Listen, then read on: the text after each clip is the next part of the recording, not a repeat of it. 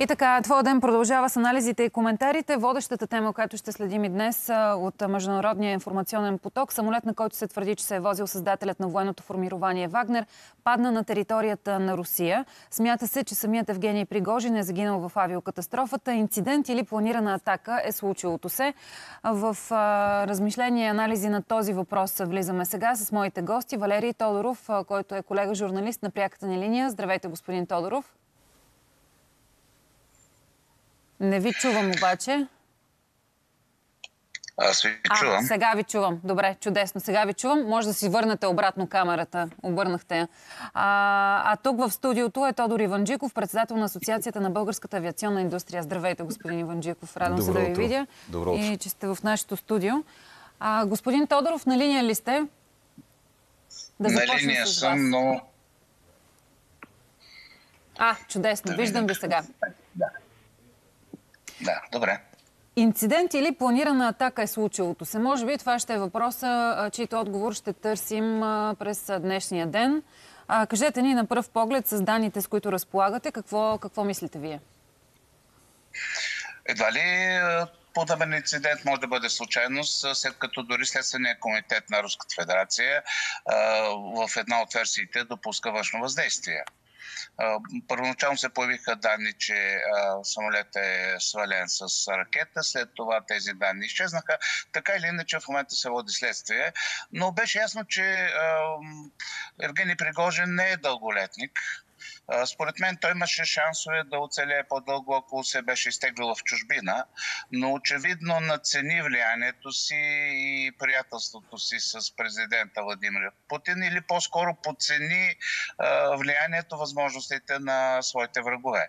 Те хични са малко след метежа, който беше използван като тест за лоялност и същевременно нанесе репутационни щети на руската армия, на командването да не забравяме, че все пак бяха дадени жертви, че бяха свалени също така а, руски самолети. Кажете ми само, да, дайте обаче да разсъждаваме над различните а, сценарии, които се нищят от тази сутрин и в а, нашите медии. А сега един път се говори за евентуална възможност за шоу, другото за инсценировка. Между другото излезе информация, че Пригожин подготвя свой двойник в а, различни а, така, медийни източници. А, и третата вероятност е ликвидиране наистина.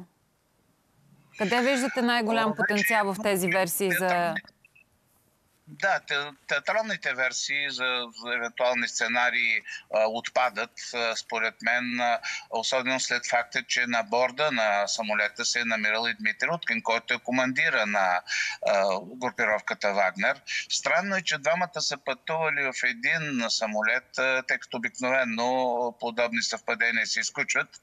А, доколкото знаем, на борда е била и личната охрана на Пригожин, а, също така оператора, който пътува с него.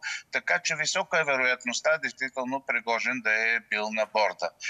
За сега не се съобщава колко тела са намерени би следвало да са, освен на тримата души от екипажа, останалите да са от командването на Вагнер. Така че те първо ще разберем. До късно с нощи бяха открити 8 тела. След това допълнителна информация не се появи. Нека се пак да отбележим, че самолета гореше още във въздуха и се разби. така че доста трудно ще бъде да се идентифицират част от останките и, така, и да се направи по-пълен анализ на причините. Но прави впечатление, че се изключва а, вариант да е имало, примерно, взривно вещество на борда. Тоест, допуска се, че или технич, или грешка на пилота, което при тези обстоятелства също, също малко вероятно, по логиката на изключването, също техническа неизправност едва ли, не е ясно единствено защо, след като Пригожин има три самолета на разположение, е използвал именно самолет на, на частна компания, която извършва бизнес превози, Самолет е от, един и същи, от една и съща марка, но от различен тип от този, който той използва. Същевременно е проследено и движението на самолета на Евгений Пригожин. Той е извършил а, така а, полети в а, няколко посоки. Явно е използван междувременно за други цели и принудително е използван на този самолет. Благодаря, а, благодаря ви, господин Тодоров. Понеже вече влизаме в, как да кажа, а, експертизата и на, на госта ми в студиото. А, точно и конкретно ще говорим за самата машина, за това, което знаем за самия полет, къде може да възникне проблем с един самолет. А, благодаря ви на вас, че отделихте от времето си. Знам, че не сте в София и се включихте в ефира ни. Те първа през днешния ден подозирам, че ще научаваме още, още коментари по случая. Само отбелязвам тук за нашите зрители. Руският президент е говорил в курс, но не споменава нищо за инцидента по никакъв начин начин поздравила руските войници по отношение на войната. Да, кажа нещо.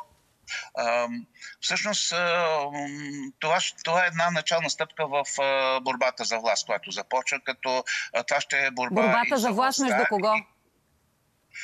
около, в обкръжението на Владимир Путин.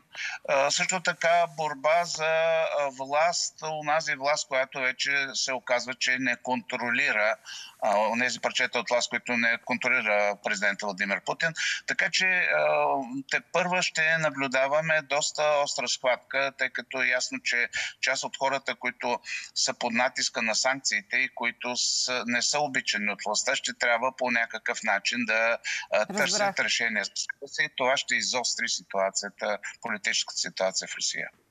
До нови срещи, господин Тодоров. Ще се видим, надявам се, скоро и в студиото ни, за да видим какво ще бъде развитието и наистина как ще се отрази този случай на всичко това, което се случва в Русия и на войната в Украина, респективно. А сега с Тодор Иванджиков, отново да го представя, председател на Асоциацията на българската авиационна индустрия, влизаме в разговор конкретно за, за самолета, за машината. Здравейте отново, добре дошли. Каква е машината? Какво знаем? Виждаме едни кадри. На мен ми изглеждаше като свободно падане и се запитах дали гори този самолет изобщо или се разбива. Вие казахте, че най-вероятно е ударен в крилото. Заповядайте. А, здравейте. Ми самолет е а, бразилско производство. А, аз видя, че е 16 годишен самолет, който е доста надежен. Доста хубав самолет. Аз миналата година специално ходех, вземах два самолета от Бразилия Америка, защото те ги произвеждат в Америка, нищо, че е бразилско производство. А, от този самолет има това е втората катастрофа, която се случва. Иначе казано, сигурна машина. Самолет е много надежден. Много надежден самолет, така че ако е правилно експлуатиран този самолет, аз не виждам да има някакви технически проблеми. А, проблемът, който е в Русия е, че самолетите не се обслужват правилно.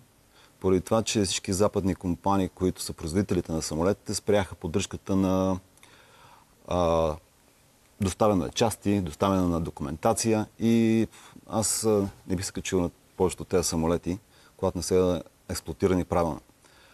А, по видеото, което аз така гледаме нещо, да. което а, се това случва, с това разполагаме.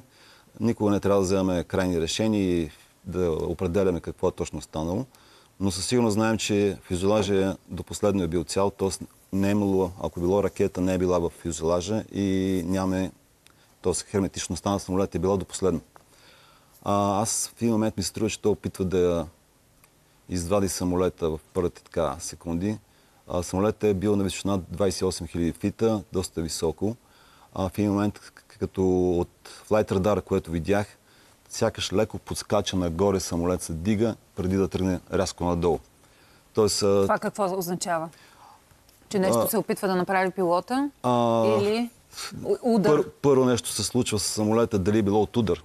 Така. Да, да се повдигне този самолет, да тръгне той нагоре и като реакция на пилота.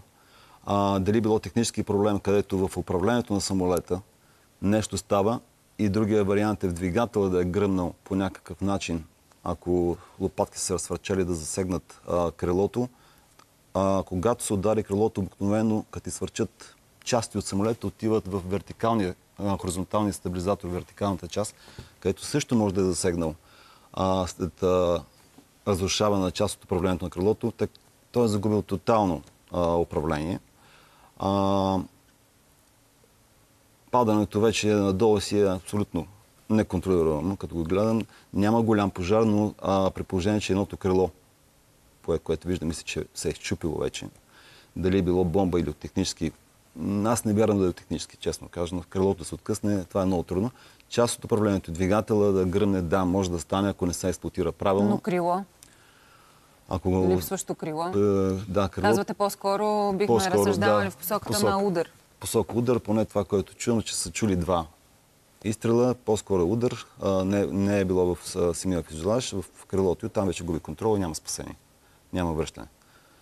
Но а, тук вече политическата част не искам да я засягам аз като Не, не, в никакъв случай да. не ви вкарвам в този разговор. Затова и с господин Тодоров минахме през другата геополитическа част и анализ.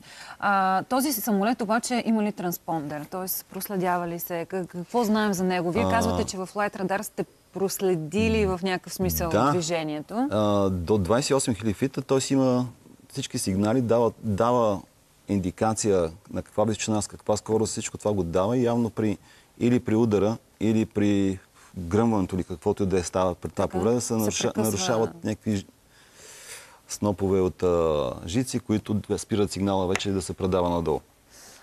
А, падането на самия самолет а, може ли да издаде още повече детайли за това какъв е проблема или е много трудно да се говори за това? И изобщо след като А. се разбила по такъв начин машината, може ли да се ползва черна котия за проучване на, на причините евентуално касаещи инцидента? А, Стигането до ин- до инцидента. Да, ако се направи прав, правилно анализа. А това, да, усетих така намигването. Това Ако е безспорно много важно. за Да, как ще специалисти направи и анализа? как трябва да се представи пред хората, специално в тази ситуация, която в тази държава е война, а, черната котия би могла да е издържала и да се разбере много.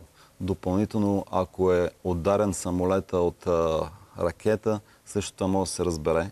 А, разфасова се самолета на отделни части, всяка част се разглежда много детайлно и тогава може да се а, разбере каква е причината. Така че да, това ще се разбере. А, самолета като...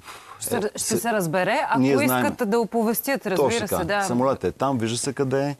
А, една част от опашката е отстрани, даже не е където е огъня, където там може да се види много добре какво е ударено, какво е развалено, какво е изчупено. А, аз видях, че едната част на хоризонталния стабилизатор е няма, т.е. е изчупена, другата е здрава. Тоест, А. можем да мислим, че удара е от частта, Да. в която всичко От тази е... страна, която е повреден този хоризонтален стабилизатор, защото е ударено това крило, от частта е от крилото ударило. Тази част на хоризонталния стабилизатор почти със сигурност е станало това нещо и той вече не е имал никакво управление. Вертикално, хоризонтално той губи изцяло. Да. Ми, те първа ще видим каква Но информация с ще излезе от voice а, recorder, Русия. т.е. котията, която записва а, Да. говора, котията, която записва всички параметри на самолета, да, може да се разбере какво е станало в последните минути, Да видим. последните секунди. Да видим дали ще стигне до нас изобщо Въпросът е такава информация. да. да. Много ви благодаря. Много ви благодаря за експертността и експертизата, която ползвахме от вас. Тодор Иванджиков, председател на Асоциацията на българската авиационна индустрия в студиото на Твоя ден. Продължават международните ни редактори, уважаеми зрители, да следят тази тема. При всяка една нова информация ще ви а, я предоставяме в емисията